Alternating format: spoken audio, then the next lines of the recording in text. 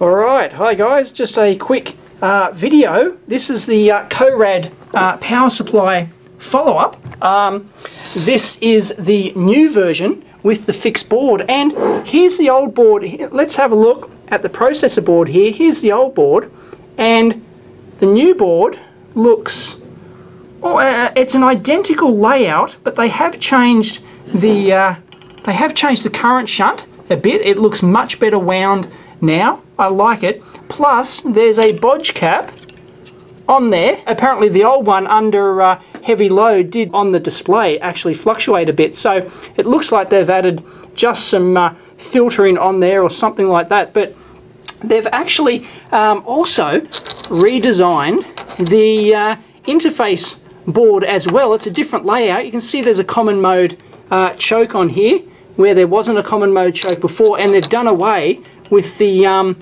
ground lead now, they don't need to do that anymore.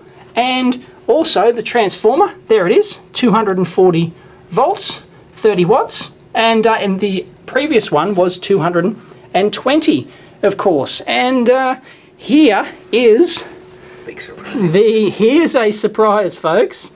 They um, said that they just changed the power transistors, but they haven't. It's a completely different layout. This is the no, yeah, this is the previous one, and this is the new one. Check it out.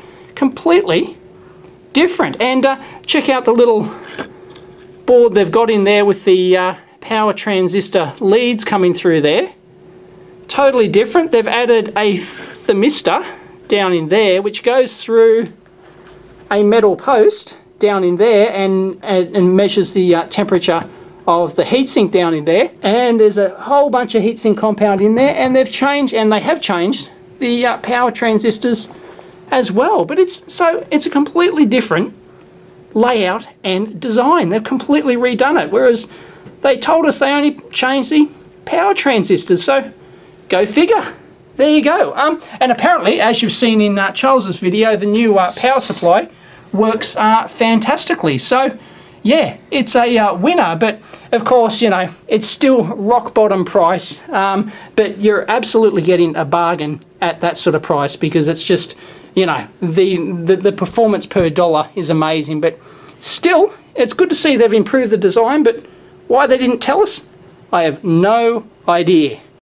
And we're going to have a whole bunch of these leftover boards. What, 16 of them? 16, Charles? yeah. 16 boards. And um, anyone who wants these uh, assemblies, all you got to do is pay postage and uh, 50 lousy bucks, and they're all yours.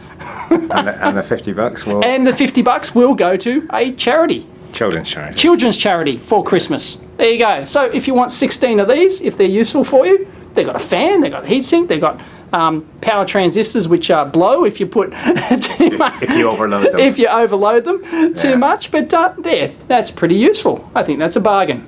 So contact Charles. Actually, it's more of a bargain, folks. You will actually get all three boards. You'll get the this one, the um, uh, processor board, and an interface board as well. Oh, bargain.